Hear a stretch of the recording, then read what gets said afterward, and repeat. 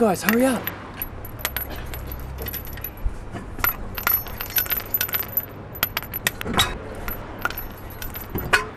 Quick, before somebody sees us.